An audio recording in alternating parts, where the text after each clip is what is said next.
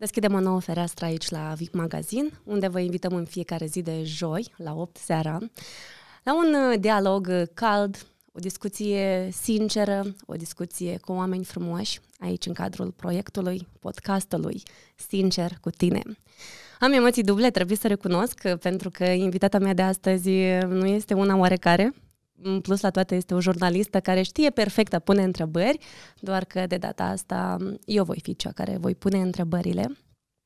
Nu vreau să o descriu și, în general, îmi propun la fiecare podcast să nu descriu invitatul, să vă las pe voi să o faceți. Eu doar voi da niște direcții. Așa că vreau să vă zic că invitata mea totuși este Rodica Ciorănică. Vai, Zina, bună! M-ai prezentat ca de pe o scenă mare. Cred că pe scenă te-aș fi prezentat altfel. Eu, știi, am și eu emoții să știi că nu știu cum să țin mâinile, pentru că psihologii spun că dacă stai cu mâinile așa te închizi, dar vreau să fiu foarte deschisă cu tine azi. Și sper să-ți reușească să mă deschizi. sper, de aceea și am emoții și trebuie să recunosc că, că ele sunt, dar e firesc. Dacă nu erau, mm. nu știu dacă mai eram eu Zina. da. Uh, văd că ai un Aurelius aici, el ajută atunci când ai emoții. Ajută? Face da. magie. Uh, ce fac două femei când se întâlnesc și au un, o sticlă de vin sau de spumant între ele, știi? Joacă, beau cu siguranță. Nu, se gândesc cine o deschide. Ah, da, evident, tu ești gazda și... Nu, eu nu sunt gazda, dar tu știi să deschizi spumant?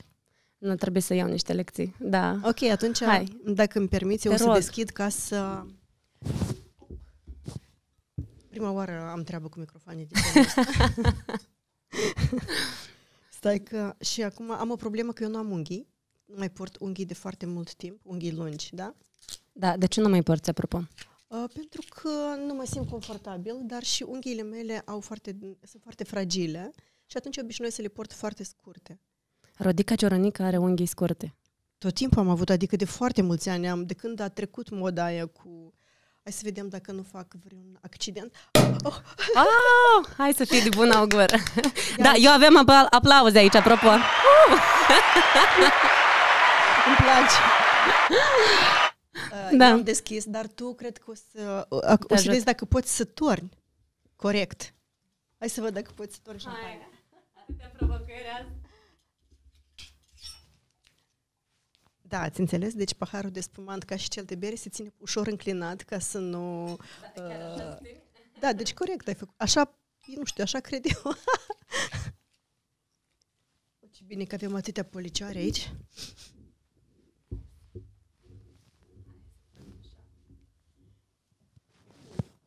Pentru emoții, într-un ceas bun și... Să fii de bun augur. Eu sunt sigură că um, acest Aurelius o să ne fac mai aurite în vorbă și um, o să avem o inspirație și libertatea de a spune niște lucruri pe nume. Hai! Hai. Într-un ceas bun să fie. Trebuie să-mi întreb microfonul.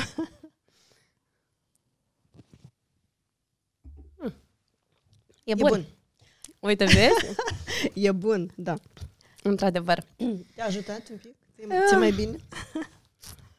da. O să vedem pe parcurs.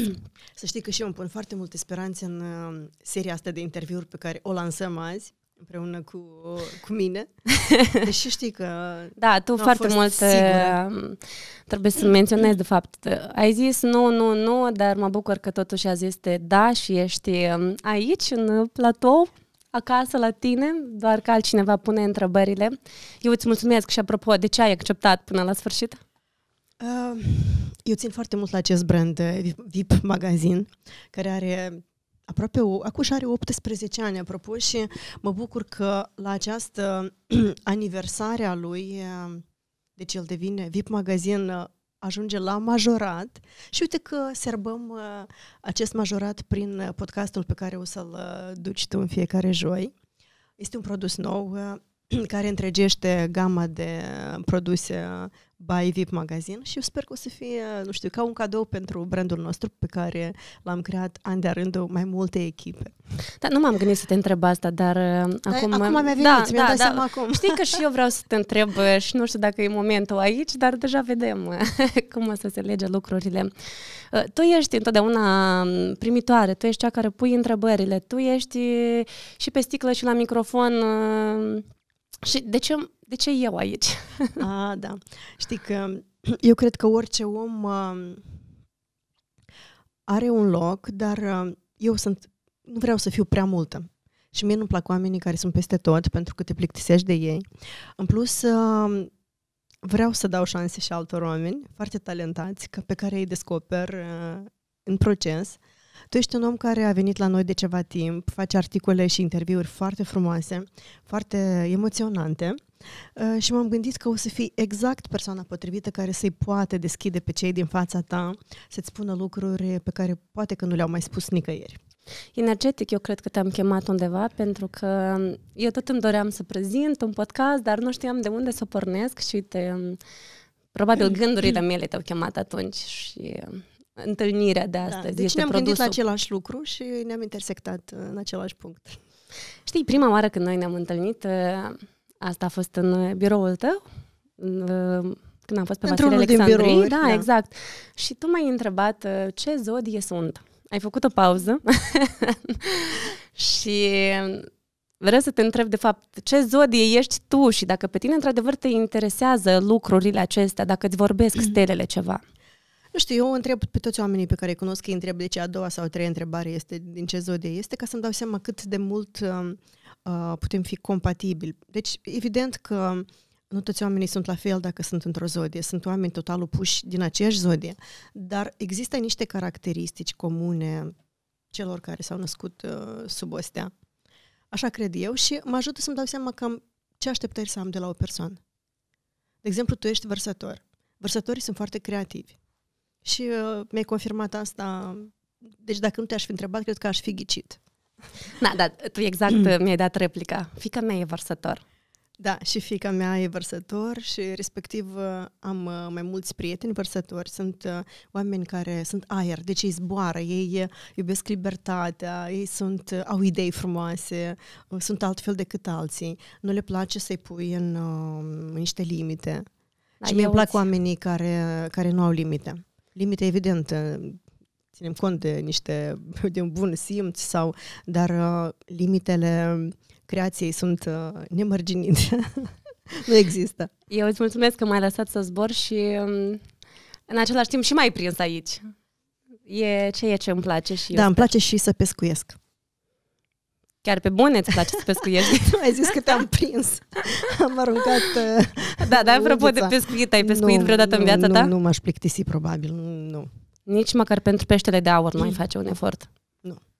E prea, e prea, cum- e o îndeletnicire, un hobby prea liniștit pentru mine. Mie îmi place liniștea, dar o folosesc uh, uh, pentru alte hobby-uri, de exemplu cărțile sau uh, scrisul. Da, să aștept peștișorul de aur, poate să treacă toată viața. Da, dar straniu că în atâta timp nu ai fost niciodată la pescuit. Măcar ai fi experimentat. Păi, e, timp îți pare că e mult, dar dacă te uiți înapoi, nu este atât de mult. Și dacă te uiți înainte, este și mai puțin. Da, trebuie să te scoată odată Igor la pescuit. Neapărat. Da, și lui Igor îi place de mare.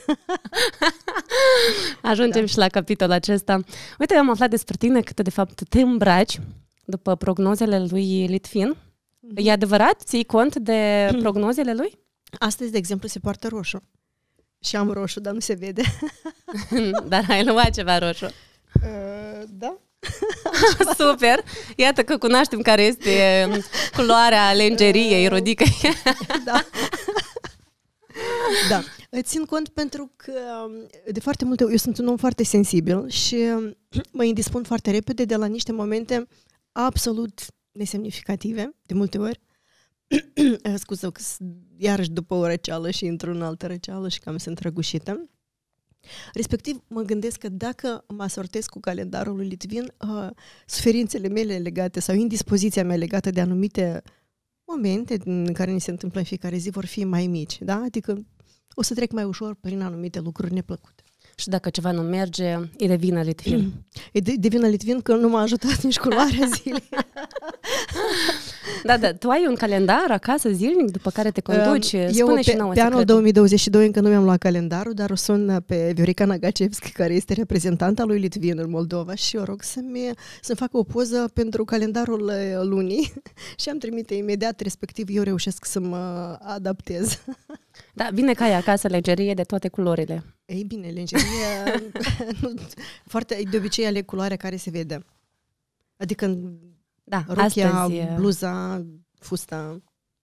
astăzi ai vrut să fii mai ascunsă totuși. Astăzi n-am avut nimic roșu cu care să, să te impresionez pe tine și m-am uh, asortat cu lalelele. Da, apropo, în plină iarnă la lele, exact Da. ca în poveste aceea. Da, uh, sunt, uh, știi că colaborăm uh, de multe ori în proiectele noastre cu cei de la OK Flora și ne-au trimis lalele. Tu mereu uh, primești flori, fel de fel de cadouri, atenții, ce faci cu ele? Să știi că nu le dăruiesc mai departe. Mie îmi plac cadourile și mă bucur de fiecare dintre ele și cei care mi le trimit știu că nu iubesc uh, cadourile comune, da? adică de bifă. Dar se gândesc și eu la fel uh, dăruiesc. Ofer ceea ce, mi-ar, ce știu că i-ar plăcea omului să primească. Da? Mai curând îmi plac cadourile practice decât... uh, Să știi că am, am am și pentru tine un cadou, dar uh, de emoții l-am uitat la mine în birou, o să ți-l dăruiesc. Poate la sfârșitul emisiunii o să rog cu șfetele să mi-l aducă și o să vreau ca fiecare invitat uh, la emisiunea ta, la podcast, să vină cu ceva pentru tine. Și tu asta nu mi-ai spus, Radica. Da, am avut în cap să Asta a fost începem intenționat? Așa. Uh, eu am uitat de cadou. Dar cu și o să rog, uh, o să rog colegii că sunt, nu sunt departe și o să-mi aduc uh, ceea ce m-am Da. gândit eu pentru E, tine. dacă ai zis cadou, eu oricum îl cer. e, întotdeauna, știi, când îți spune cineva că urmează să primești un cadou, vrei, nu vrei, te trim- trimit gândurile la Da. el, dar eu am răbdare. Hai să facem o, o mică, mică pauză până mi-aduce cadoul și continuăm. Ești Uh, ok? Da, cadoul va lega cumva discuția noastră? Nu știu, eu o nu să știu ce ai vezi. pregătit. Nu știu cum o să te, uh, dacă Hai o să să vedem. Da. Hai. Slava, se poate să ne ajuți să ne aduci, te rog, cadou? Nu, pot să mă duc eu să-l aduc. Te duci chiar tu? Da. Ce onoare. Hai să vedem.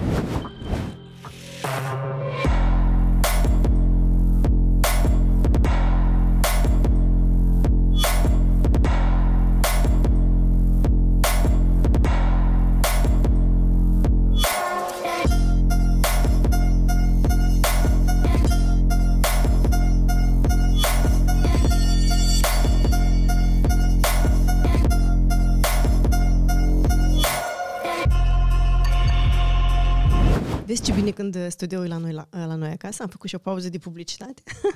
Da, Uh, e da. necesar uneori. Eu de aseară mă gândeam uh, că vreau să avem o tradiție la podcastul uh, VIP Magazin, ca fiecare invitat să-ți aducă ceva uh, și să aibă poate o poveste legată de acest ceva. Da? Noi vor, nu vorbim de cadouri de valoare financiară. Dar dacă și costă, adică o să le accepti, nu? Da, Eu ți-am adus, Să nu plătesc impozit pe ele, asta contează. Eu am o prietenă care pictează și ea știe că mie îmi place marea. Eu sunt înnebunită de tablourile în care există marea. Și ți-am adus, uite, ție aici la podcast, marea. E o mare zbuciumată, așa cum suntem noi oamenii de creație. Și eu vreau să-ți doresc ție și invitațiilor tăi din acest podcast să aibă tot timpul un vis pe care să-l viseze în fața unei mări. Sau să aibă o mare pentru visul lor. Ce frumos. Pentru că eu, uh, ori de câte ori, înainte de a începe un proiect sau atunci când uh, sunt între două decizii și- sau între, în fața unei mari decizii, prefer să iau o pauză și să ajung pe malul mării, măcar la Odessa, măcar pe jumătate de zi. De această întâlnire cu marea m, mă ajută să, să înțeleg ce vreau să fac mai departe. Așa că ține acest tablou, Super. poți să-l pui acolo și să Da, vedem chiar mă uh, să-ți gândeam. aducă, să-ți aducă noroc. Sper să se asorteze și aici inspirație, perfect. da. E perfect acolo cu Praga și Marea, o mare, da.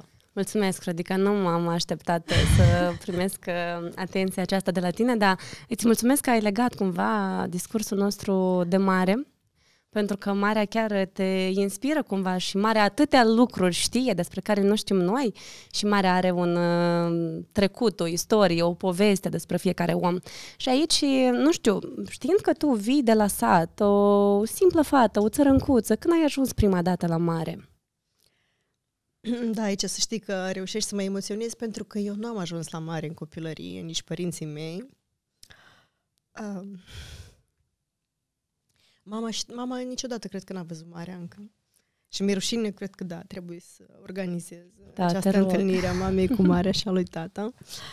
Uh, dar am ajuns totuși, da, mint acum, cred că am ajuns la mare în trecere. Eram cu o excur- într-o excursie la școală. Uh, da, să mă, eram prea mică ca să-mi dau seama acum să-ți povestesc detalii. Țin minte că eram pe malul unei mări și era și un târg de anticariat sau se vindeau tot felul de chestiuțe care se vând pe malul mării, probabil că într-un oraș uh, ucrainesc, da? Nu mai departe, sigur.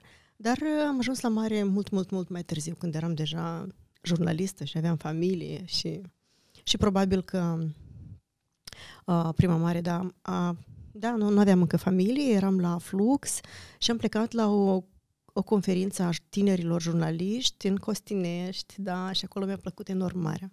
Și era o piesă a lui Sting în vogă și de câte ori aud acea piesă, mă, mă întorc la Costinești. Ție îți place să selectești, să faci colecții de amintiri? Nu le colectez, dar să știi că ne legăm de locurile care, sau ne plac locurile în care trăim niște emoții. Și dacă... Deci emoțiile ne leagă de locuri și atunci ele împreună fac o amintire. Da, mă gândesc acum că zici nu ai fost uh, la mare când erai copilă și exact uh, m-am uh, regăsit. Atât de mult îmi doream să, să văd marea. Îmi părea că o să o cuprindă toată tu atunci când ai băgat primul picior în mare, ai simțit cumva așa un curent electric prin tine? Deci în copilărie nu cred că îmi dădeam seama sau trăiam atât de intens această emoție pentru că mă gândeam, deci dacă eram prin clasa a treia sau mă gândeam că lucrurile se vor repeta foarte curând, dar s-au repetat peste foarte mulți ani. Și respectiv nu am fost conștientă că această întâlnire este prima și că a doua nu se știe când va fi. Dar a doua a fost frumoasă pentru că eram deja uh, uh, da, eram deja jurnalistă, uh, m-am întâlnit cu oameni foarte frumoși, acolo am văzut cât de deschiși și liberi sunt tinerii din România, spre deosebire de noi cei de aici. Da, și următoarea cred că a fost deja cu Paula, fiind așa un ghemătoc de copil, frumușel, uh, grăsuț. da, am văzut și a fost la, Deci a fost deja mamaia, probabil. Da. da, știi să înnoți. Da, știu să înot, dar acum nu mai știu. Am știut. Am făcut un curs de not, după care, într-un moment în care m-am aruncat în adâncul piscinei de la o sală de aici din Chișinău, am respirat greșit și mai nu m-am înecat. Am fost salvată de un client al centrului de sport și de atunci am o frică de, de not, de nu-ți imaginez. Not, not tot timpul cu papuci de not și cu o plăcuță din asta, deci ca un copil. Dar nu mi-e rușine. Da, uite ce mi-e frică, mi-e frică de, de apă iubești și în același timp ți-e frică. Da. Da. da. Se întâmplă în viață, de fapt, pe cine să te iubești... atragă, să te atragă ceva ce ți inspiră și groază. Și, de da. fapt, acele lucruri te atrag mult mai mult. Da, tot timpul. Lucrurile imposibile sau lucrurile pe care nu le poți avea sau lucrurile uh, care sunt legate de o frică pe care nu poți să o depășești la moment. Da. Ele te atrag. Ce nu, opusul, opusul. Da, întotdeauna. Ce nu ai avut și um, vrei să ai sau ce nu ai reușit să câștigi și totuși lupți pentru asta? Acum, la vârsta mea și la... Să știi că, în ciuda, așa zisei, uh, sau activității pe care o am de foarte mulți ani și care eu cred că îmi iese bine și nu am ajuns încă la un confort financiar pe care mi l-aș dori. Cred că asta este singura mea um, nereușită la moment sau problemă pe care trebuie să o bifez. Uh, și nu că nu uh, re, um, afacerile nu ar aduce profit, dar uh, investesc foarte mult în ceea ce fac, îmi place calitatea. Sunt oameni care trebuie plătiți și atunci se întâmplă cât de multe ori prin ceea ce fac, doar vin banii și o îi dau mai departe. și foarte rar sau se, se opresc într-o măsură mai mică sau, sau poate că am cheltuieli foarte mari. Da, dar știi, cine, cine ne-ar asculta acum nu da. ar crede, pentru că tu întotdeauna iubești confortul, da. mașinile mari. Da, da.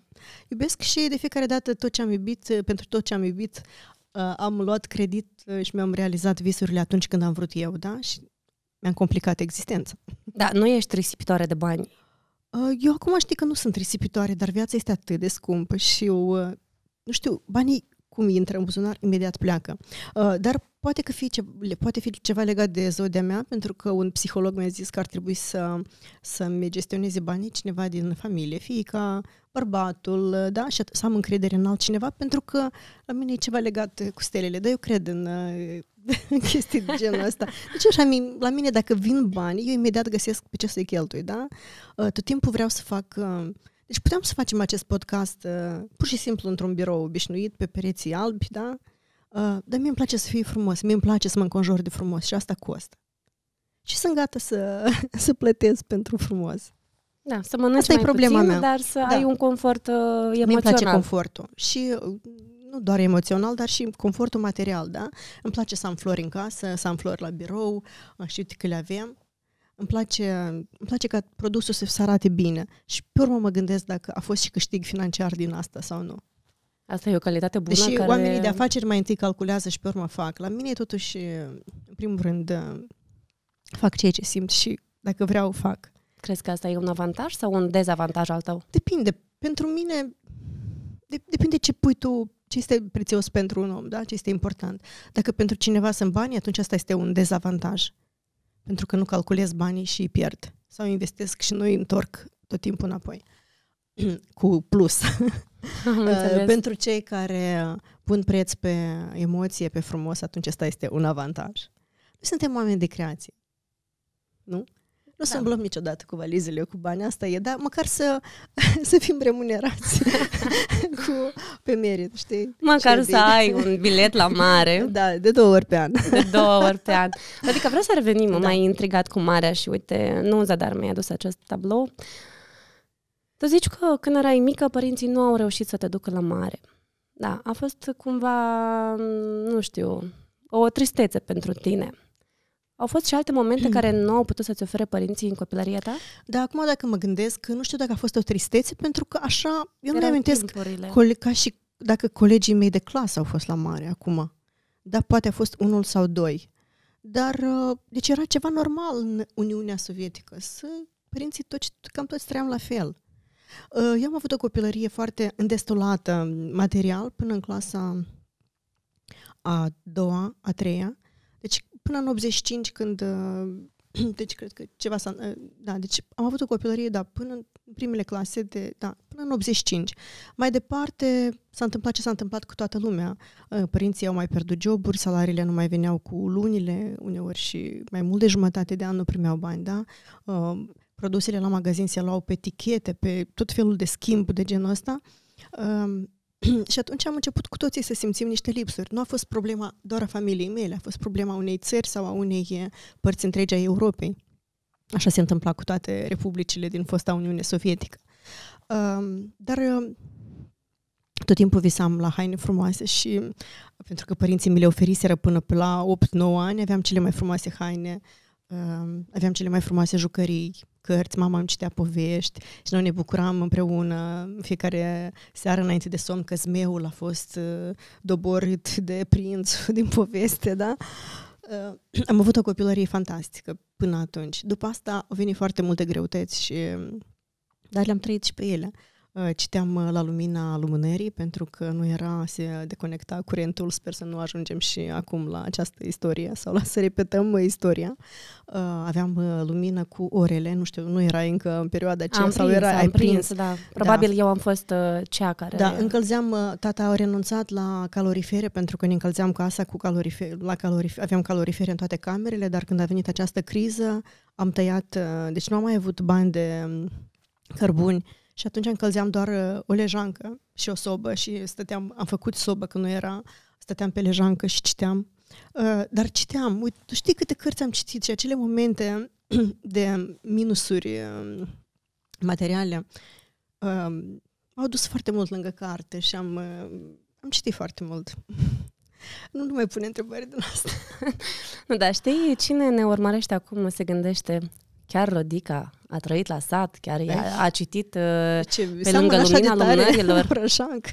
Da, știi, cumva lumea așa te-a catalogat. Cumva vii din categoria asta.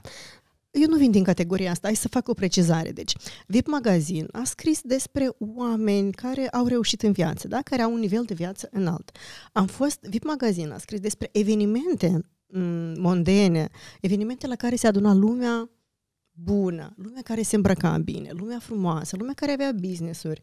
Uh, respectiv am fost asociată cu această lume, dar eu eram acolo pentru că scriam despre ei. Nu înseamnă că eu eram ca ea. Dar bine, în momentul acesta aici tu ți-ai dorit confuzia. mai mult. Tot timpul mi-am dorit mai mult. Tot timpul mi-am dorit, uh, da. Știi cine era idolul meu în, uh, în copilărie, adolescență? Uh, mă uitam cum se îmbracă Irina Bibel și luam rochile mamei și le tăiam, le scurtam ca să le aduc mai aproape, dar Irina Bibel tot timpul s-a îmbrăcat foarte frumos în opinia mea. Fustițele alea vaporoase, cu da, volanașe. E slabă. Da. da. Și eu eram slabă. și acum ești. și deci era pentru mine un ideal, uite, ce frumos se îmbracă femeia asta și acum este atât de frumoasă. Uh, și visam la rochițile alea pentru că și acum uneori când mai port, mai port fustă scurtă îmi zic oprește-te. Asta e, vine de atunci, din adolescență, că nu ai avut fustele scurte cât ai vrut tu, știi, sau câte ai vrut și nu mai porți și azi. Da, uh, de regulă, când erai la școală, în ce bancă îți plăcea să fii? Prima sau... Uh... Mm, nu, nu eram în prima, eram cam în banca a treia sau a doua, dar de regulă între a treia. Și, dar în clasa întâi aveam șase ani și toți colegii mei aveau șapte, dar eu vreau foarte mult la școală, îmi doream enorm să învăț, mă plictisisem la grădiniță și când mama mă ducea dimineața la grădiniță, eu mă, mă trânteam în fața gardului, în fața porții și dădeam din picioare. Știi cum fac copiii? Tu? Eu, da. Tu puteai să faci așa? Da, vreau la școală, vreau la școală. Și atunci, eh, dar la școală nu mai erau locuri, deci eu trebuie să mai aștept un an. Și tata a spus directorului de școală, da, anul ăla se dăduse în exploatare școala din satul meu. Tata era uh, șeful pe construcție, deci era produsul lui, al echipei lui și eram așa de mândră, o școală atât de frumoasă. Și tata s-a dus la directorul școlii și a zis, uh, găsiți un loc pentru Rodica că ea vrea la școală. Și a zis, dacă, dar știi să citească, știi să numere. Și tata a zis, da, aduceți-o să o vedem. Și mi-a dat, țin minte și ca și acum, directorul era în fața mea și a, mi-a scos ziarul Moldova Socialistă, așa un ziar mare, mare. Și a zis, hai citește ce scrie aici. Am citit un titlu sau două. Te luăm. și m-am dus cea mai mică uh, într-o clasă din 31 de copii, în care nu era loc pentru mine. Și m-a pus în ultima bancă, eram cea mai mică. Și eu și acolo mă plictiseam și știu că făceam, mai muțăream din uh, fundul clasei, mă îmbrăcam, îmi puneam căciula, mă îmbrobodeam, uh, îmi puneam usteți și când se întorceau colegii mei, eu îi strâmbam, știi? Și Cum că... erai mai mică? Era mai Vrei mică. să te joci? Vreau să mă manifest, cred, că nu știu, îmi plăceau tot timpul mai muțărelele. Da, cred că ți-a rămas cumva ceva de atunci? Da, cred că mi-a rămas, da, mai am uneori momente când mă simt bine. Da. da, asta când vrei să te joci cu Paula și să vă mai muțăriți amândouă. Da, aseară chiar am, am imitat-o pe mama mea, pe bunica, cum, cum vorbește cu tata și Paula a zis că trebuie să mă duc la genezart. Ei, iată, puteai să faci actorie. Da. Nici nu știi. Da. Adică, voi în familie ați fost numai fete. Trei fete. Tatăl tău a reușit cumva să vă alinte pe toate împreună? Da, tata a vrut un băiat foarte mult și nu i-a dat Dumnezeu un băiat. Și când uh, mama a plecat uh, să o aducă pe, acasă pe cea de-a treia soră, deci ea, între ea și mine este o diferență de 10 ani, respectiv uh, eu aveam 10, sora mea mai mică avea aproape 7 și Violina era cea care se născuse. Și a venit tata, maternitatea era într-un sat îndepărtat, afară era frig, glod tata a venit foarte târziu de la maternitate, deci nu era telefoane, cred că da, nu avea cum să ne sune, să ne spună ce a născut mama. Și noi stăteam amândouă așa ghemuite cu luminița, cu sora mea într-un pat și ce avem, ce avem? Tata a venit, ne-a cuprins așa pe amândouă și a zis, mai avem o fată. Ei, nu, nu, nu, duceți-o înapoi.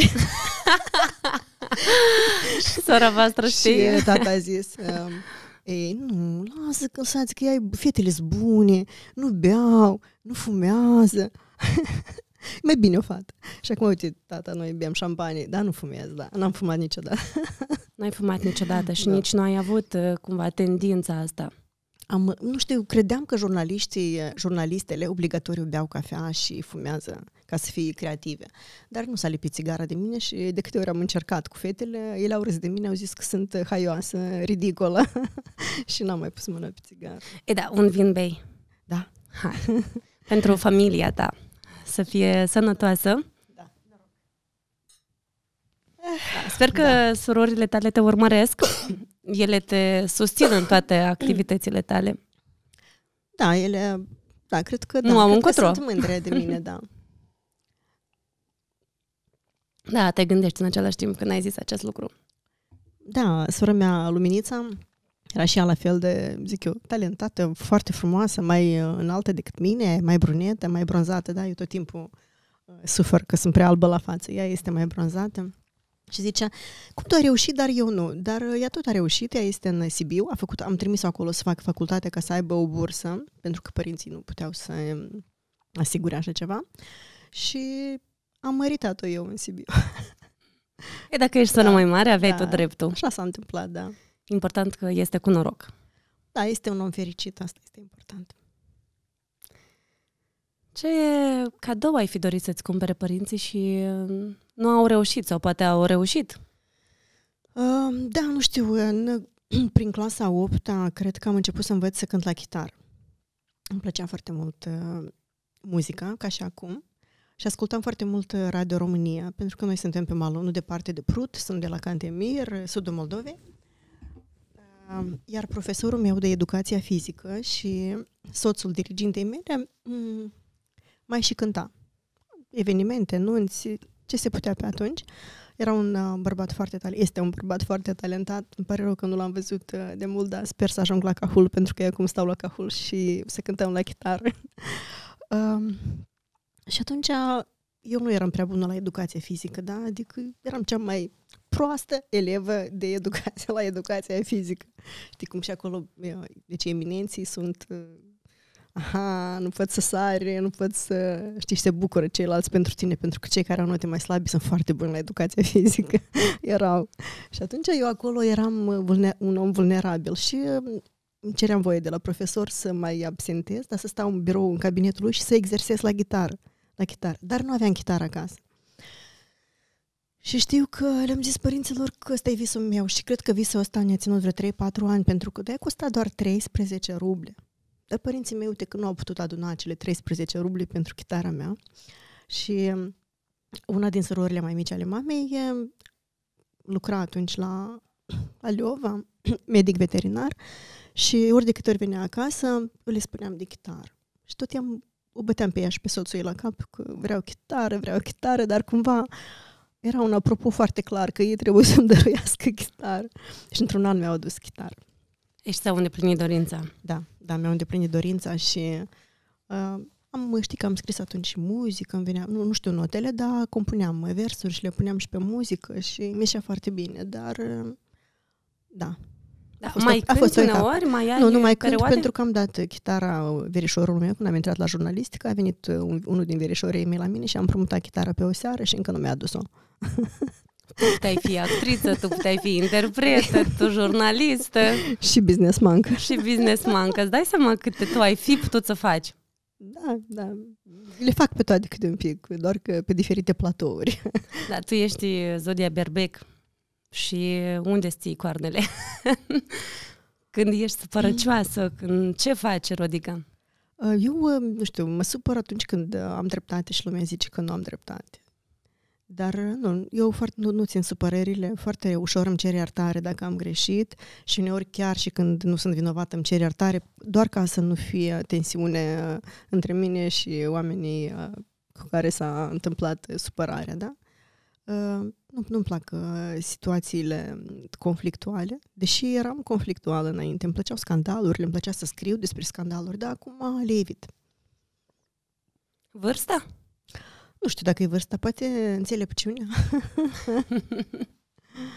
Da, ziceai acum de mm, scandaluri și mă gândesc că mai păstrez uneori tu scandaluri, dar uh, acum sunt așa mai, mai ușurele pentru, pentru tine. Am înțeles că știi să ceri iertare, dar tu știi să ierți.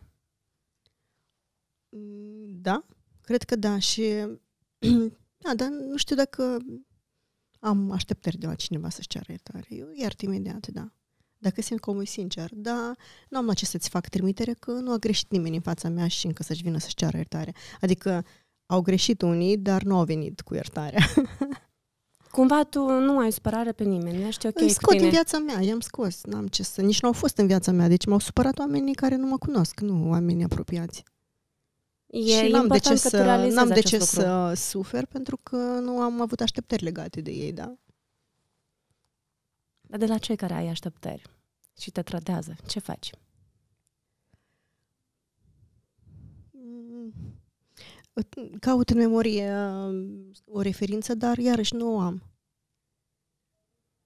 Asta e bine. Nu mă simt trădată. Dacă nu o găsești... De multe ori să știi că um, și cineva despre noi, despre mine, ar putea zice că i-am trădat sau am greșit și să nu ne dăm seama. Poate fi și așa ceva. Și îmi cer iertare de la toată lumea pe care am supărat-o, dar fără să vreau. Da, uite ce moment, vezi? Chiar îmi cer iertare, pentru că de multe ori putem să nu ne dăm seama sau o situație poate fi interpretată și văzută de o persoană într-un fel, iar de tine în alt fel. Și este normal, pentru că adevărul e tot timpul relativ, e undeva la mijloc.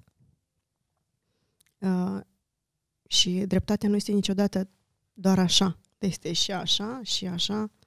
Da, știi cum e drept acel care îți vorbește întotdeauna. Dar vreau să revenim și... Um, știu că tu foarte mult timp uh, ai tot umblat pe tocuri, dar uh, fiindcă tot discutam despre familie, despre casă, despre sat, despre Cantemir, cu ce pantofi tu te-ai pornit la Chișinău?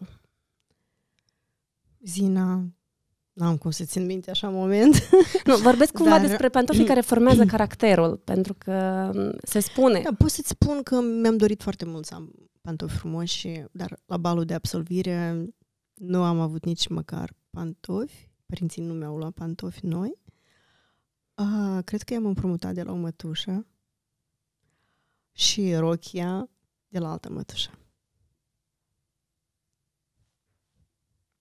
Și da, când uh, mă gândeam, visam să am un prim job la anii de facultate și urma să primesc câteva sute de lei pentru acel job, mă gândeam, oh, în sfârșit, o să-mi pot lua două perechi de pantofi la fiecare salariu. ce, ce ce nu ai avut cândva te urmărește în timp, toată viața. De ce? Probabil ce ai purtat mult timp uh, pantofi nu știu, Unde frum- atunci te era frumos. Pe așa așa era frumos atunci, sau, um, mă rog, purtam tot timpul rochii și rochile stau, am și sunt scunde, am un metru 60, respectiv uh, nici nu, dar nu se purta atunci, nu era o încălțăminte asta fără tocuri, care acum este foarte în vogă și uh, este foarte ok să nu fii pe tocuri, sau încălțămintea asta sport, care acum se asortează și cu rochii și cu fuste și cu... Atunci nu se purta așa. Și respectiv alergam toată ziua pe tocuri Așa era normal, acum este ridicol, da. Da, da, ești cumva de acord că pantofii formează caracterul unei femei? Probabil. Acum, dacă mă gândesc că îmi plăceau tocurile înalte, tot timpul mi-a, mi-a plăcut să fiu la înălțime și mi-a plăcut să fiu lider, mi-a, făcut, mi-a plăcut să fiu prima, acolo în zona mea unde locul de care mă ocup eu sau ceea ce fac eu să fac cel mai bine, da? Nu, nu am suportat uh, locul secund uh, sau... Da, din școală mi-a plăcut să fiu prima. Da, și ți-a reușit? Tu simți că ești prima? Nu știu, poate nu, nu toată lumea mă vede așa, dar eu așa mă văd și mă simt bine. Da. Dar niciodată nu... Dar tot timpul simt că trebuie să lupt pentru acel, acea poziție. Nu pot să spun că am ajuns pe un loc și sunt ok acolo. Tot timpul poți să pierzi uh, poziția de sub picioare. Da, ți se dă ușor să fii prima sau permanent trebuie să muncești, să muncești mult? Uh, eu nu am așteptări de la alții, da? Și ceea ce fac eu, dacă mie îmi place, înseamnă că sunt prima. Adică mi-mi place să fac lucrurile bine. Uh, eu nu o să fac ceva pentru că mai face cineva și iese bine, dar o să fac ceva pentru că asta vreau eu să fac. Și o să încerc să fie altfel decât o fac alții. Um, prima în ceva, nu poți să fii prima în tot. Înțelepciunea asta ta, de unde vine?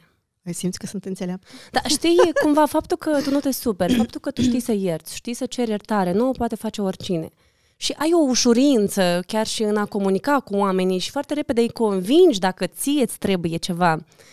Și vine asta din experiență sau probabil ai avut că o vine școală? Din, probabil că vine din experiență, pentru că da, învățăm, dar nu este o lecție pe care iată, o înveți, o înveți, o repeți și ea, se, îți dai seama în timp, adică ceea ce îți spun acum, nu, ați, nu aș putea să spun și mâine, că o să uit. Este ceea ce simt acum. Când ai pornit tu de acasă? Cu ce te-ai pornit? Oh, nici asta nu știu. Da, nu neapărat uh, așa, la figurat. Poate... Dar m-am pornit uh, cu încredere absolută că o să fac facultate de jurnalism și o să mă întorc uh, profesoară de română la mine în sat. Deci mai, mai departe nu puteam să visez. Nu-mi imaginam că va fi televiziune, presă, liberă, reviste. Nu aveam idee de așa ceva, da? Um, mă gândeam să merg la o facultate de filologie și atunci iarăși profesoara mea, diriginta mea, profesoara mea de română, uh, Elena Vasilievna Mocanu, mi-a zis, "Mm, de ce să mergi să fii învățătoare? Uite, poți să faci jurnalism, da? Și eu scriam articolașe din clasa 4 în ziarul raional și eu nici nu știam că există așa facultate, da? Și am zis, wow, se poate. Și am venit la facultate, aveam uh, deja o diplomă de luasem locul 2 la Olimpiada Republicană cu un an înainte la limba și literatura română, îmi dăduse cumva asta niște aripi și încredere în mine că nu sunt mai, uh, mai proastă decât copiii de la oraș care au avut uh, mult mai multe șanse și oportunități. Îmi plăcea să scriu, poate era naiv uh, pentru 16 ani ai mei, dar era ok pentru acea vârstă, da? adică poate acum mi se pare naiv ce scriam atunci, dar atunci era ok. Trebuie să te mai lecuiești un pic. Mă tratez, da. Să te tratezi încă un pic. Uite, um, tu te-ai pornit la Chișinău? Te-ai aranjat cu viața așa cum ai vrut? Ai A, fost știi ce mereu mi-a făcut? ambițioasă? Mi-a făcut părul creț când am venit la Chișinău. Mi-a făcut, uh, este un cuvânt uh, zavivcă. Mi-am făcut onduleuri, o ondulare permanentă. Da, pentru că nu se putea cu părul meu lung să mă primească la facultate. Așa o prostie am avut în cap atunci. Am terminat facultatea, mi-am făcut uh, școala, mi-am făcut părul creț și am venit la Chișinău. să fii frumoasă. Da. Dar ai fost blondă întotdeauna.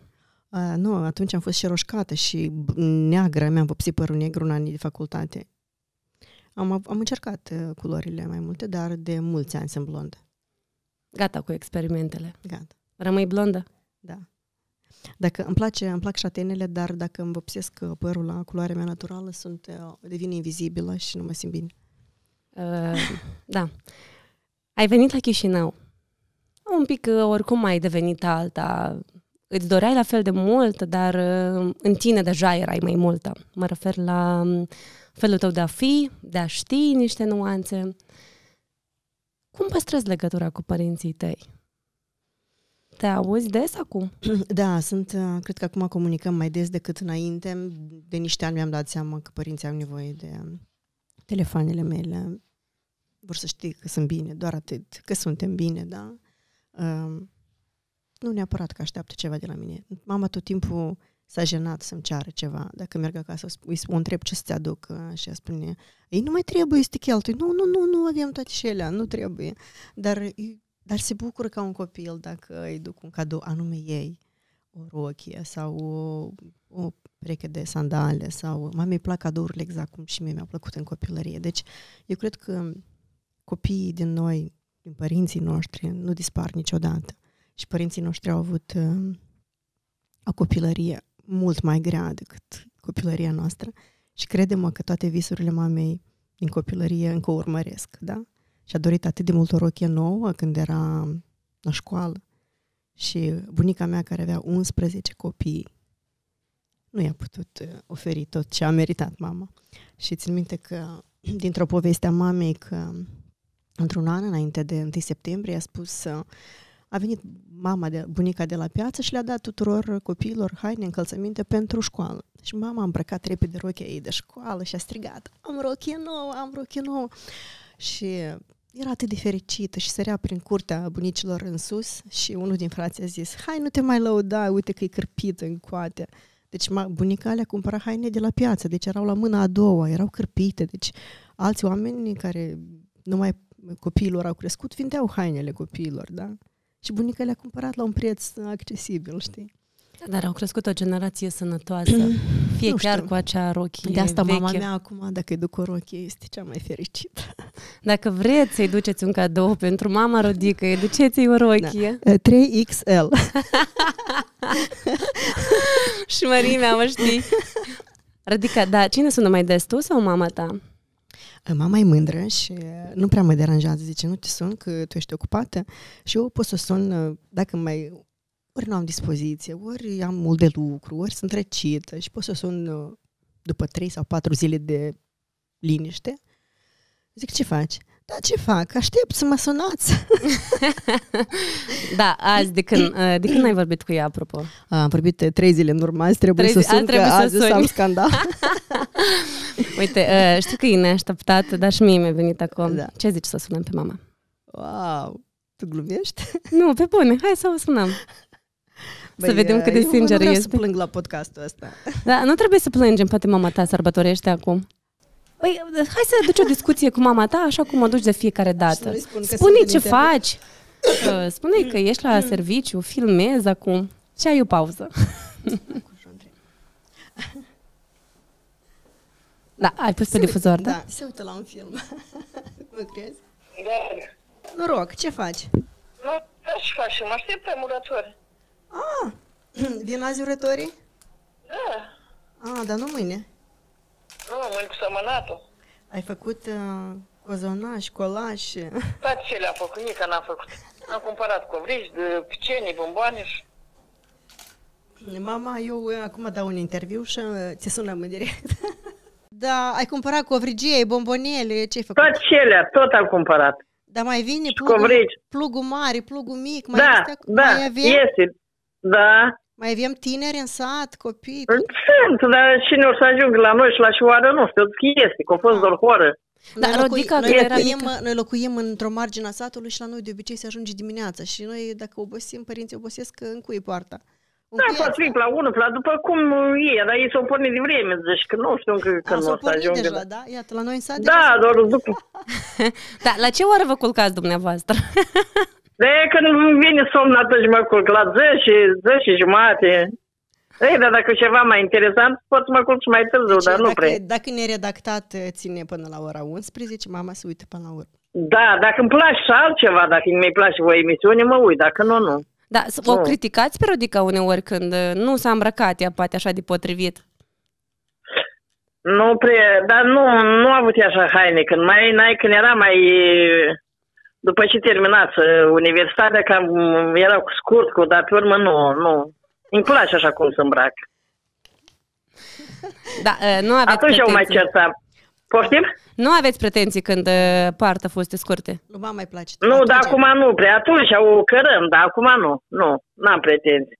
Atunci mă- când uh, mă plecam la vreo discotecă, apoi uh, îmi luam fusta scurt în, uh, după poartă, o ascundeam și uh, când plecam, plecam îmbrăcată normal și mă duceam la o prietenă de-a mea și ne îmbrăcam în fuste scurte. și ne duceam. Da, ia spuneți, uh, uneori, uh, a fost necesar Rodica de um, a fi așa atras un pic de păr? Sau a crescut A cu fost. minte? O, ia, ia Au- au fost povestiți? cu minte, poftim. Ia povestiți? Au fost cu minte, dar s-a dus la o nuntă și știam că e prietenă și n-am știut că e, când m-am uitat, ora 4, ora 5, era de acum ora 6, Rodica noi. Doamne, zic, oare unde? Zic, Cred că e mireasă, dar era pe, nu era ei de măritat.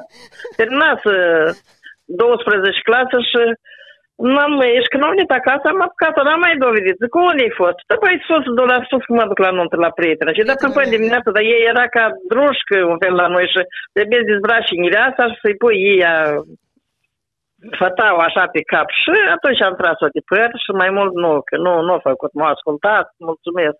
Dar cum este Rodica, de fapt? Ca fică, cum este ea?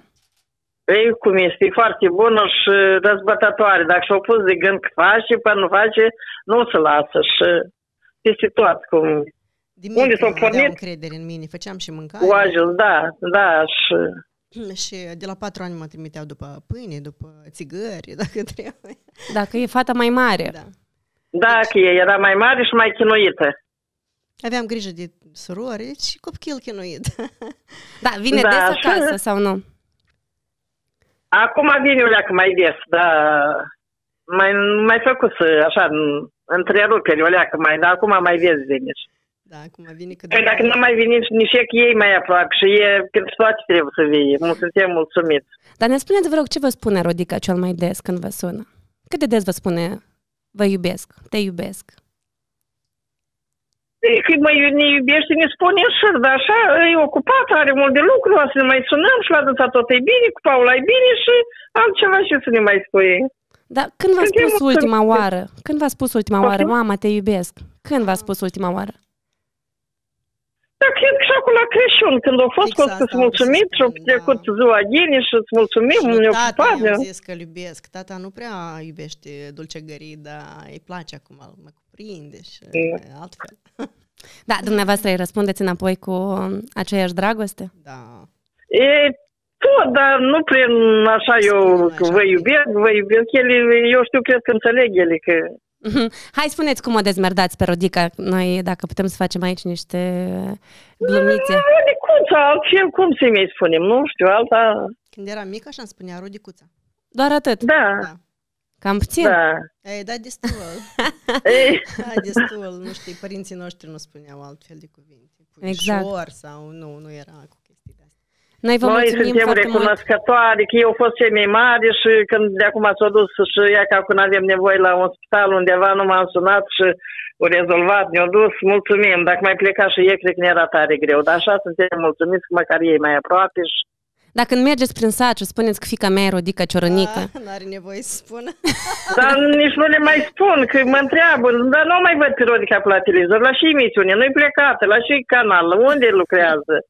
Da, mă întreabă numai, nu plecat, nu știu, chiar mai înainte tot mă întrebau, deci că nu mai era pe nicăieri, ai plecat, nu o să duci Am plecat de la ProTV, oamenii au crezut că am plecat din țară.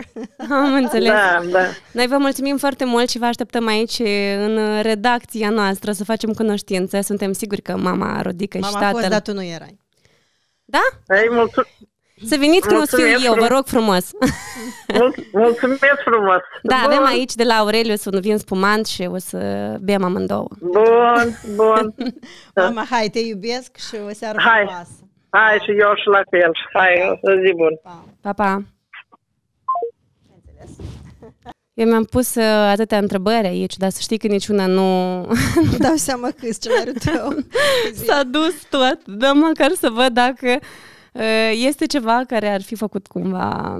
Ți-am stricat interviul? Da, nu l-ai stricat. L-ai construit mult mai frumos, mult mai sincer.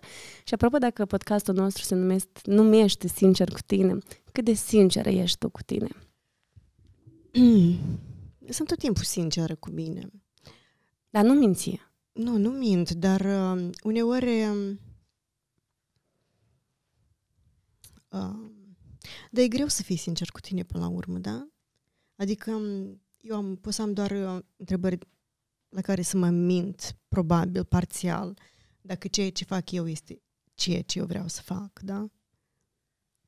și de multe ori îmi dau seama că fac pentru că așa trebuie, fac pentru că mie nu-mi place să renunț la proiectele pe care le-am început, mie îmi pare că le trebuie să dureze toată viața. Um, da, eu nu pot renunța la lucrurile pe care, în care am pus suflet și nu poate poți. că mi-ar plăcea, dacă să fiu sinceră, poate că mi-ar plăcea într-un moment să pun punct la tot și să încep să construiesc altceva, total altceva. Ai să poți? Um, cred că da.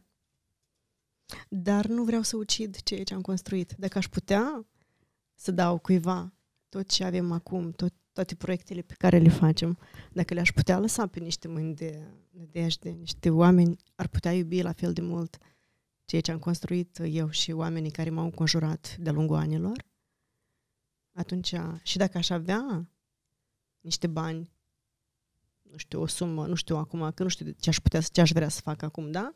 Um, ca să, care să-mi permită să realizez altceva, da, cred că aș, aș putea să o iau de la zero, în orice moment. Aș putea să mă duc să lucrez și reporter, dacă vrei, acum la, la un ziar, la o televiziune. Nu mi-e rușine și nu mai tem. Uh, sunt foarte, um, cum să zic, um, cred că jurnalismul trebuie făcut altfel, de multe ori cred. Și uh, mi-ar plăcea să, ca generația mea să fie mai prezentă în presă. Vreau să te cred, dar nu știu dacă să te cred. Mă gândesc că un om care Aha. construiește scară cu scară și la un moment să zic că mă întorc la prima fără nicio frică, nu știu dacă e despre tine. Adică aș putea să fac asta, dar îmi dau seama că n-am de ce să fac, da? Dar aș putea. Nu știu ce ar trebui să se întâmple, dar aș putea să fac dacă aș fi ajunge într-un punct în care nu aș avea altceva de făcut. Nu ți-e frică să pierzi niciodată? Mi-e frică, dar tot timpul, ai văzut uh, cum ți-a zis mama la telefon, eu tot timpul am fost descurcăreață. Și am, uh, am, am reușit să ies din toate situațiile.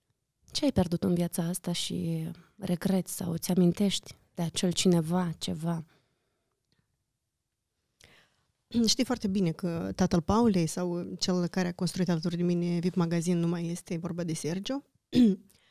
um,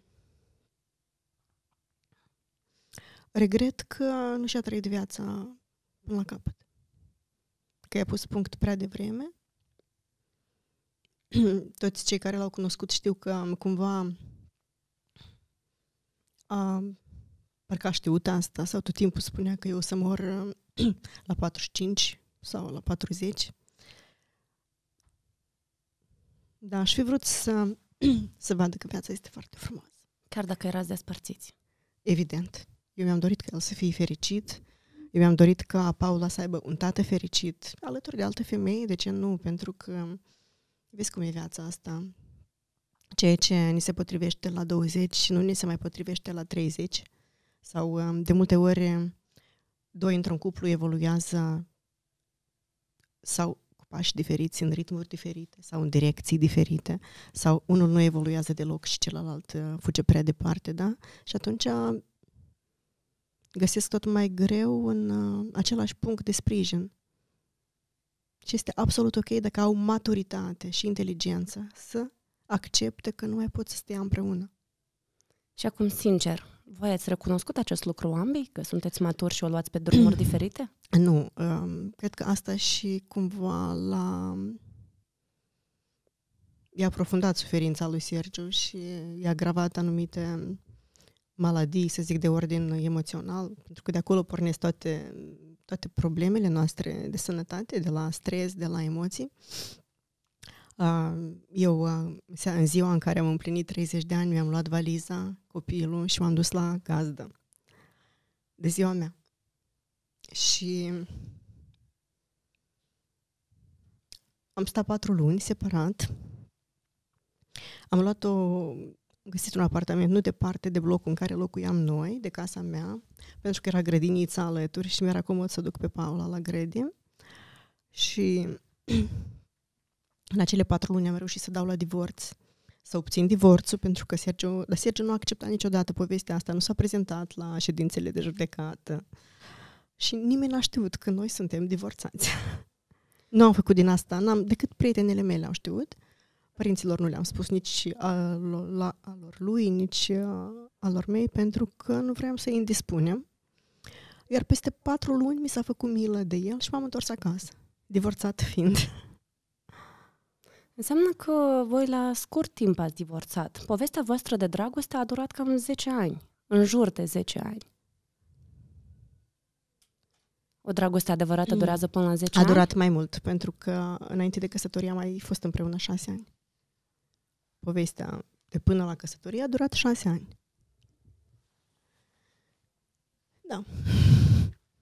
Da, bine că exact da, nu de ziua există, ta nu ai vrut să faci un cadou? Da, am vrut să fac un cadou, am vrut să mă eliberez de, de o parte din mine care nu mi se mai potrivea.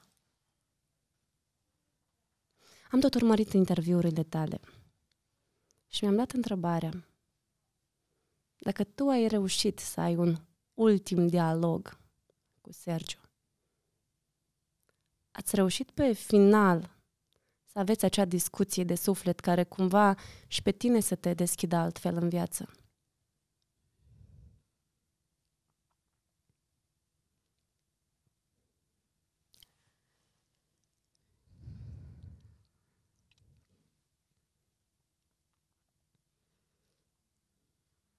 Putem să întindem pauza asta cât vrei tu.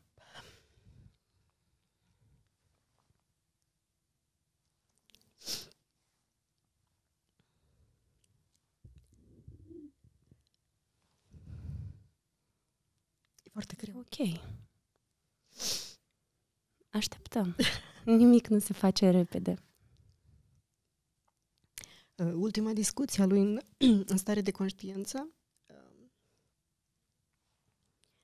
Noi nu mai stăteam împreună, deja chiar nu stăteam de câțiva ani și era după, după sărbă, sărbătorile naționale, 31 august, în- pe care le-a sărbătorit cu familia lui, cu surorile, rudele, verișorii. A făcut un acces de pancreas după asta, pentru că s-a, mă rog, ca la o masă în care se adună foarte multe bucate peste bucate, fără... Și a doua zi am aflat că a venit, uh, că l-au luat, uh, a venit ambulanța și l-a luat. Nu se putea mișca. Și am fugit la spital și mi-a zis că să-i promit că eu o să-l salvez și să plec, uh, să scoatem VIP magazin. Deci el a, cumva ultima lui vorbă conștientă era despre VIP magazin, că să scoatem revista la timp. El tot timpul trăia cu revista asta, știi? și am promis că, nu că am promis, eram sigură că ridic toți medicii în picioare și că facem tot. Nu știam că e atât de grav. Și am...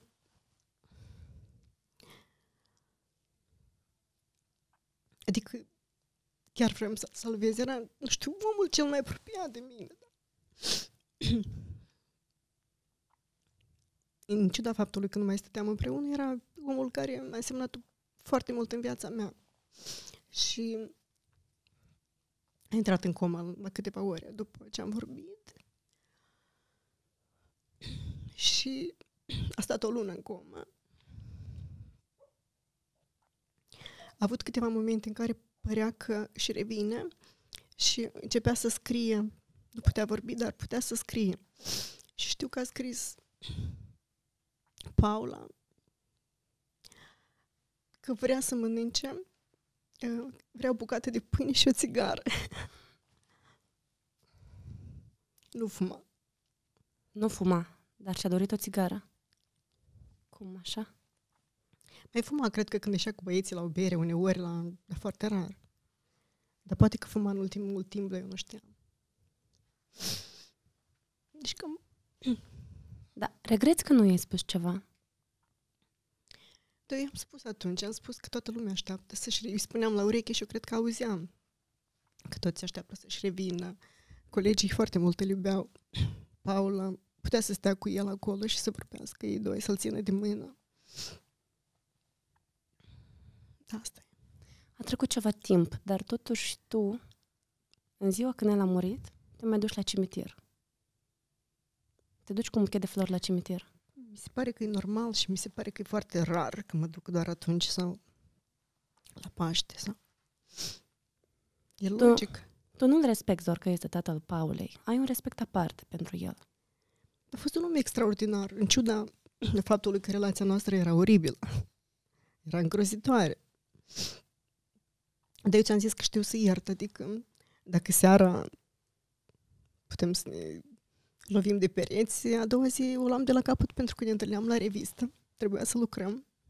Și nu trebuia să știe tot orașul că ne-am bătut. Dar au fost zile când v-ați bătut. Erau zile de umilință, era mai mult um, bătaie de asta psihologic. E mult mai dureros. Dar tu, la viața ta, ai luat bătaie. Am fost lovită. Și dai înapoi? Când nu pot să închid gura, da. da, da, sunt mult mai slabă, evident că nu, nu mi-a reușit așa de bine. Știi, râs cu plâns și probabil e um, o senzație de um, ușurare atunci când, uh, știi, să îndrepti spatele și să o pornești de la capăt. Paula, în momentul când voi v-ați dus de lângă Sergiu, a fost mereu cu tine? Nu ți-a zis uh, mama, vreau cu tata?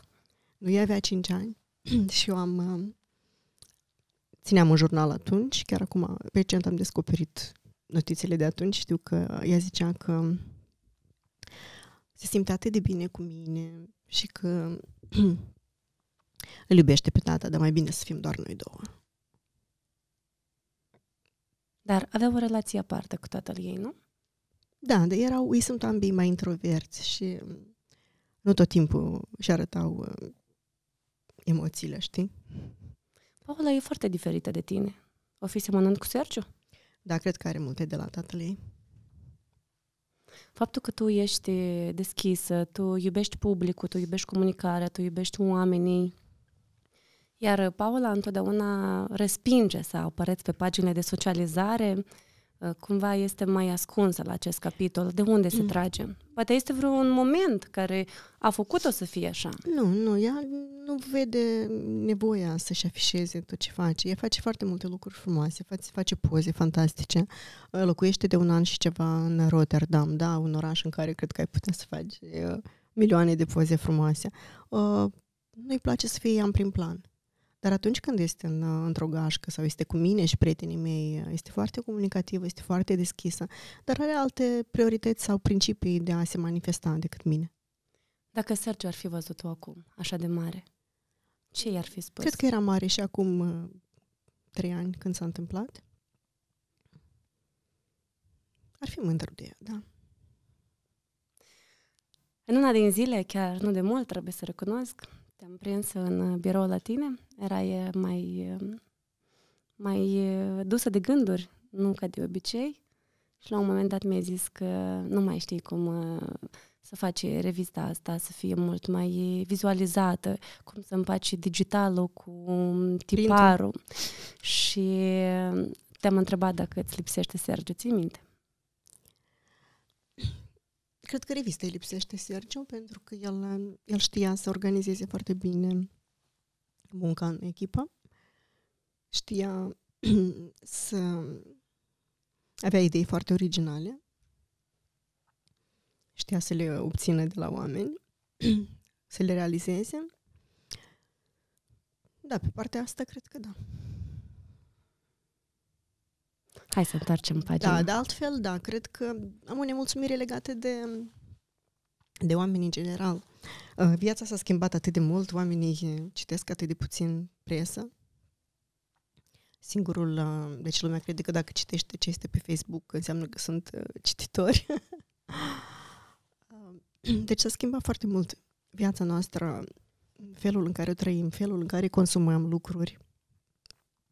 Și este greu să faci ce iubeai să faci înainte și ți reușea și să faci la fel de bine când s-au schimbat regulile de joc. Și cum, uh, ca să ne dăm seama, e de vină confortul care noi îl avem. Multitudinea asta de rețele de socializare, de informații. Bine, lumea merge cumva, evoluează. Este o evoluție firească și tu nu poți să te opui aceste evoluții. Pur și simplu trebuie să știm să avem suficientă inteligență, uh, informație, educație, uh, ca să putem să ne adaptăm noilor uh, tendințe ale acestui secol. Tu ești acum într-o altă poveste de dragoste, mm. unde probabil ai mai multă siguranță, e ceea ce ți-ai dorit dintotdeauna? Da, cred că am liniște, am uh, admirație, am uh, sprijin, Asta înseamnă tare mult când ceea ce spui tu uh, este susținut de omul de lângă tine și completat cu ideile lui, cu uh, o viziune total diferită de a ta, de multe ori, chiar dacă ea nu este din, din același segment de activitate. Dar vezi cum vede un om care nu este jurnalist munca ta și asta te ajută. Pentru că noi nu lucrăm pentru jurnaliști, noi lucrăm pentru oameni care nu sunt jurnaliști. Vă contraziceți adesea? Pentru că nu cam vă aud să vă certați pe aici. nu, nu avem de ce să ne contrazicem. Că foarte repede ajungeți la un numitor uh, comun. Singura contradicție, contrazicere poate fi faptul că uh, da, eu lucrez prea mult sau nu suntem, uh, timpul pe care trebuie să-l dedic familiei nu este este mai puțin cu o oră sau două, da? Adică nu avem de ce să ne certăm. Dar știi, când eram uh, mici, spre exemplu eu, nu știu tu, în mintea mea știam cum trebuie să arate bărbatul meu.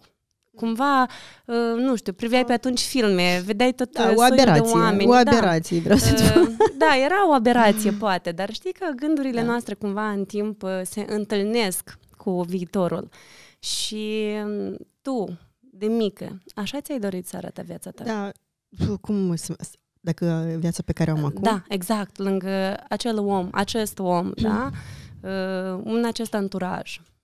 Cred că este foarte idealist ce spui tu acum, da, dacă mi-am dorit asta și mi-am desenat anume acest tablou.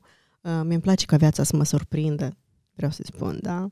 Uh, eu nu, nu mi-am desenat, acum este la modă să-ți desenezi uh, cum vrei să arate anul tău, cum vrei să arate viața ta în 5 ani, să desenezi, să vizualizezi și să știi, să fii încredințat că asta se va întâmpla. Eu uh, nu mi-am făcut așa ceva. Mie îmi place să mă las provocată de viață și uh, dacă mă îndrăgostesc de provocările care mi-apar, asta e fantastic. Totuși, care a fost cea mai mare provocare a ta? Sau care a fost cea mai tâmpită surpriză? Nu știu, poate și în același timp uh, și frumoasă, care ți-a fost făcută ție vreodată?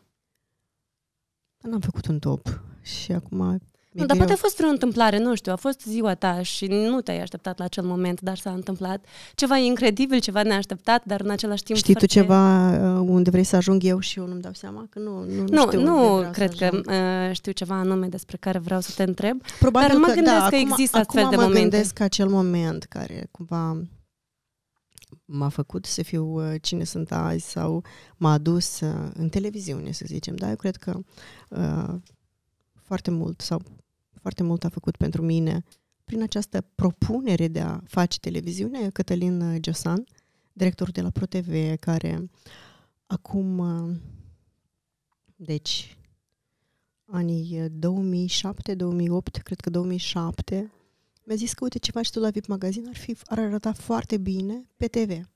Și atunci el mi-a dat șansa și mi-a făcut o invitație la ProTV, unde am început seria de interviuri cu diferiți, diferiți oameni Uh, mergeam la ei acasă și făceam interviurile. Deci atunci oamenii își deschideau mult, cu mai multă încredere ușile caselor, permiteau camerelor, luminilor uh, să intre în livingurile lor, să ne arate unde îi mănâncă, unde ei dorm, unde țin cărțile, ce, cole- ce colecționează, uh, cine sunt copiii lor. Acum nu mai vezi așa ceva. Încearcă să suni chiar vedete, nu vorbim de oameni de afaceri, de politicieni, nimeni nu vrea să ne primească în casă. Foarte puțin te vor primi în casele lor, pentru că s-a întâmplat ceva în societate. Există o frică, există o frică să nu fie asociați cu bani furați, cu să nu se comenteze că uite ce bine trăiesc, deci există foarte multă invidie și foarte puțin se gândesc că oamenii ăștia au lucrat poate toată viața lor ca să aibă acest confort pe care l-au sau um, um, dar cumva s-au schimbat prioritățile, valorile. Uh, înainte oamenii se mândreau cu ce au, acum vor să-și țină ceea ce au construit doar pentru ei. Pentru ta. cercul lor foarte mic de încredere. Despărțirea ta de ProTV, ce a însemnat? A fost și asta, o, o păginuță dureroasă, dar uh, toate trec. Ți-am zis că eu iert, uit, uite, ce să țin în mine? Pentru că sunt... A, toată lumea are dreptul să te supere, că mâine tu să uiți, da? nu, nu are dreptul să mă supere. Așa a fost să fie, știi? Adică, poate că acea despărțire care a fost dureroasă la moment m-a ambiționat să fac mai mult. Și așa și este. Pentru asta trebuie să mulțumești. da, eu... Uh, uh, colegii mei de la ProTV știau că îmi doream un platou mai altfel, că vreau să fac schimbări, dar uh, nu eu luam deciziile, da? Și atunci simțeam, eu știam, adică și vorbeam cu colegii că nu o să mai stau mult, pentru că, în primul rând, mă lua foarte mult timp și nu mă puteam ocupa de, de VIP Magazin și ulterior am făcut Red, am făcut neredactat, am făcut 13, adică am făcut o mulțime de proiecte pe care nu le-aș fi făcut dacă aș fi rămas la o seară perfectă. Deci a fost minunat că am plecat. Ceea ce da, demonstrează orice... că ești o ambițioasă. Sunt o ambițioasă și mm, trebuia, deci există uneori un moment în care știi că trebuie să ieși din zona de confort. Mi-era bine acolo. Aveam salariul la timp. Frumos. Tu când da. te superi, e adevărat, da. te duci și mănânci o înghețată și îți treci? Nu. Da, ar fi așa sunt... de ușor dacă ar fi așa. nu, dar știu că nu. tu foarte uh, mult preferi plâng, plămbirul. Da. Îmi place plămbirul. în două, da? Nu, nu, nu, nu, nu, nu. Plămbirul e plăcere. La plăcere îl consum. nu, place dacă, dacă da, dacă m-am simțit trădată, am suferit sau mă descarc, povestesc cuiva sau plâng când nu mă vede nimeni și o iau de la capăt a doua zi. Dimineața Dimineața soluționează orice durere. Da, tu ai secrete. Bine, nu neapărat să le divulgi pe toate, dar, în general, ești plină de secrete, îți Nu. place să ai mistere, să ascunzi niște lucruri, niște Uh, oameni. Nu, nu am secrete, dar uh, înțeleg tot mai mult că nu e ok să, să-ți pui viața prea tare la vedere, uh, deși asta vrem de la oamenii, de la personajele noastre, Exact. de la oamenii pe care îi intervievăm. Vreau să las ceva pentru mine. Uh, Dar mai este și partea asta cu rețelele de socializare în care lumea astăzi sau fetele uh, postează tot, tot ce fac, tot ce mănâncă, tot ce și-au cumpărat. Uh, Da, și lumea tot asta o și uh, interesează. au devalorizat uh, această, cumva, acest fel de a te împărtăși cu oamenii. Deci, um, deja nu mai suntem interesanți. Respectiv, este foarte bine când un om are o bucățică de taină în, în el și vrei să-l descoperi. Dar cum ești tu când ești nervoasă? De fapt, asta a fost printre întrebări și acum îmi amintesc că Sunt este ceva aici. supărată și probabil că arăt foarte rău, sunt foarte urâtă. Da, uh, Știi că omul care nu râde e știi mai cumva urât. când ești nervos, când ești supărat, uh, strigi în Uh, dreapta și stânga, trimiți da, toată în lumea. jur, în jur uh, pot să scriu ceva, să mă descarc, adică vreau să fac vreo postare în care să spun, să divulg adevărul, dar uh, dacă nu o fac imediat și mai aștept o zi, îmi dau seama că am făcut foarte bine. că impulsivitatea de foarte multe ori uh, nu te duce unde trebuie. Noi anterior ziceam că despre ce o să Cât am discutăm. vorbit, Păi asta vreau Mizina, să cât zic. am vorbit? Este peste o oră Wow. Și Slava mi-a făcut acum semn. Mai avem 5 minute, dar eu de fapt aș fi dorit atâtea să te întreb. Ai văzut că ți-am zis că vreau să mai rămână ceva pentru altă Nu, dată. da, chiar vreau să te întreb despre proiecte, da. sper să mai reușim uh, despre top branduri, omul anului la care lucrăm chiar acum. Da, uite, abia aștept să lansăm uh, ediția de branduri. Acum încă lucrăm, uh, suntem la etapa de finalizare a acestui proiect. Vreau să avem o gală fantastică, mi-e dor de oameni și vreau să, să revăd uh, oamenii din companiile despre care scriem, cei care au construit anul ăsta, 2021, branduri și au făcut uh, campanii foarte uh, interesante uh, de promovare, uh, de publicitate, pentru că cât de drag, cât drag ne uităm noi la o publicitate la televizor și nu știm despre ce este vorba. Spui, vai, ce interesant, hai să vedem ce, ce, ce e asta, știi? Uite, asta este creativ și vreau să punem în valoare, să premiem aceste manifestări creative ale brandurilor locale. Uh, după asta vine omul anului, top sexy, am răsfoit acum revistele vechi de altă dată și vedeam că invitam la Top Sexy uh, oameni foarte interesanți, care nu erau în Top Sexy, dar erau uh, deci cupluri faine care uh, consumă frumosul, se uită și admirăm frumusețea, uh, povestim, comunicăm, împărțim un pahar de spumant. Deci aș vrea să dau uh, mai multă greutate proiectelor care aparent par superficiale sau fără sens. La adesea m, proiecte de genul acesta, pe cât ești de m, apreciată de toți, pe atât de mult ești și criticată, Se întâmplă.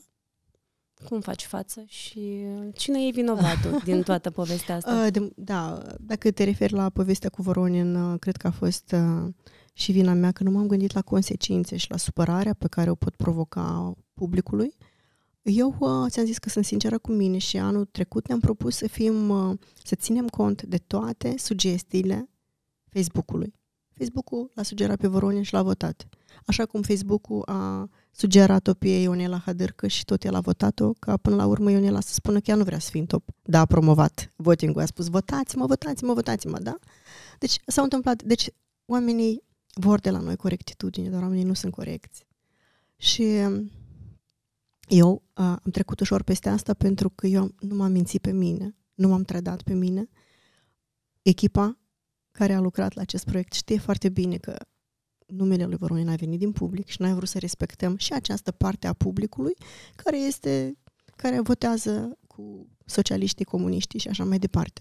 Um, noi nu ne asociem cu niciun partid uh, și tot mai greu uh, cred că o să ne găsim un uh, să ne placă cineva pentru la câte se întâmplă acum. Nu ne-am asociat niciodată cu cineva anume.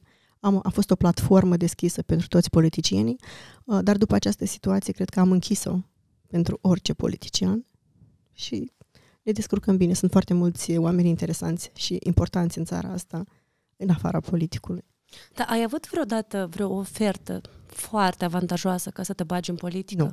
Nu, eu uh, nu aș putea să fac asta. Uh, Să fii în politică înseamnă să-ți pierzi libertatea și să nu-ți aparții și să, uh, să-ți vinzi sufletul. De multe ori trebuie să faci concesii uh, pentru echipa din care faci parte, să faci compromisuri pentru o idee care poate nu o împărtășești. Eu nu aș putea să fac asta.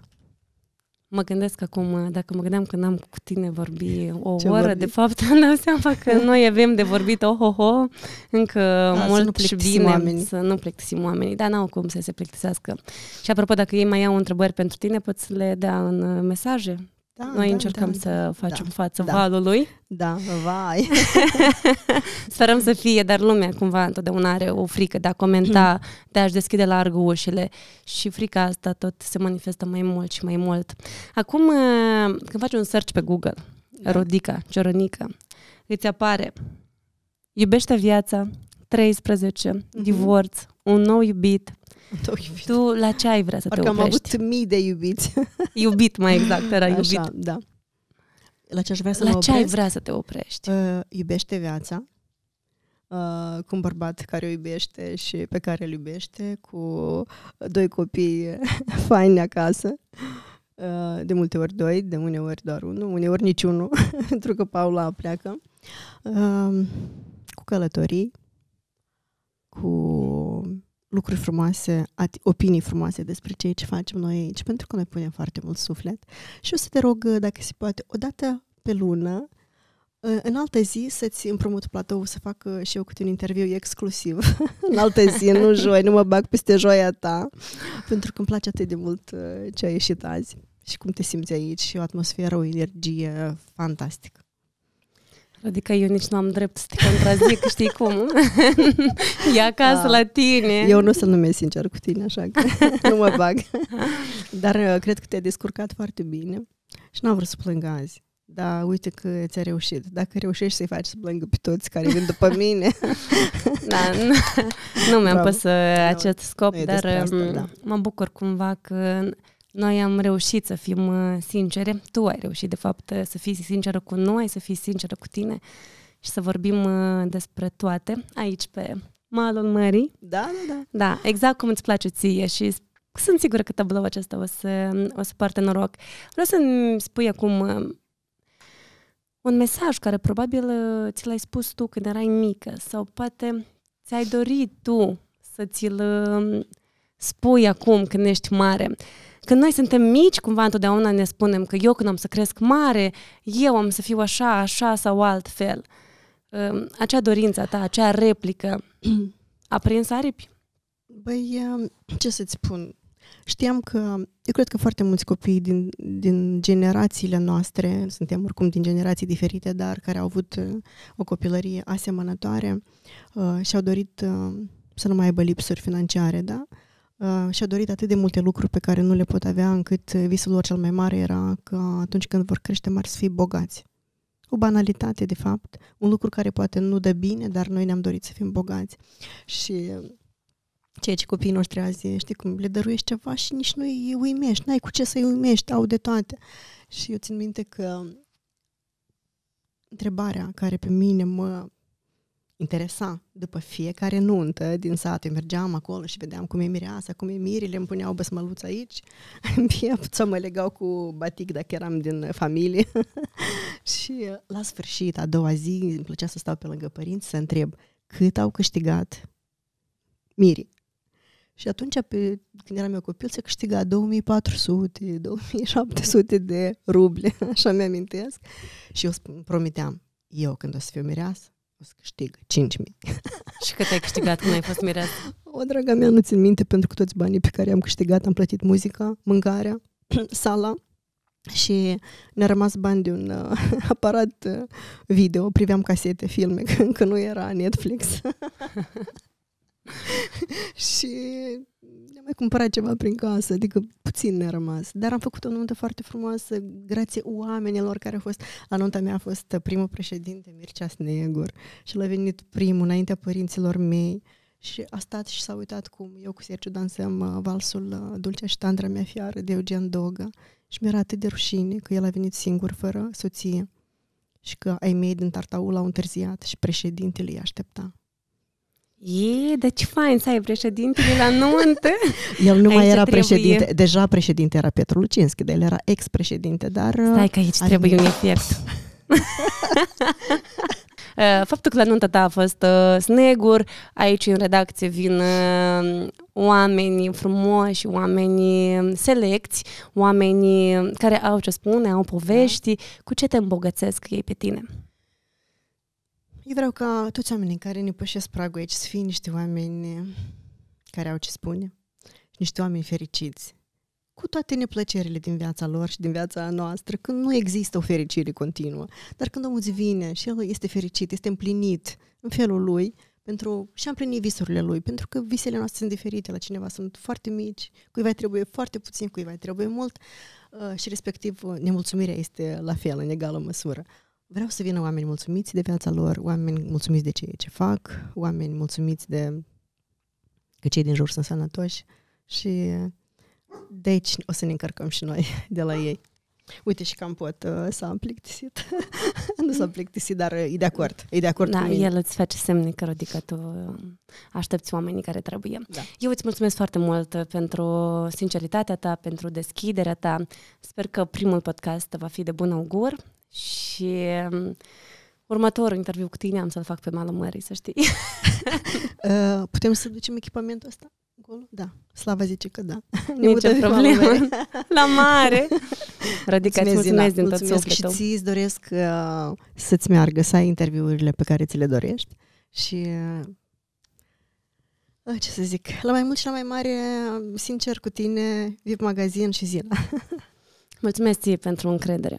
Sper să nu te dezamăgesc. Și pentru asta, Aurelius. Aurelius, da, Aurelius, vrem până la capăt. Și gata. Punct. La revedere. Să avem un an frumos.